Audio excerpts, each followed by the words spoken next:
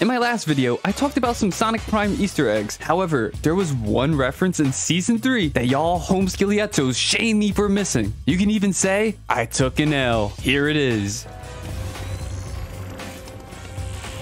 I don't play Fortnite, but oh snackazoinks, if there was ever a Sonic collab, I would be all over it. Full boxing at the speed of sound.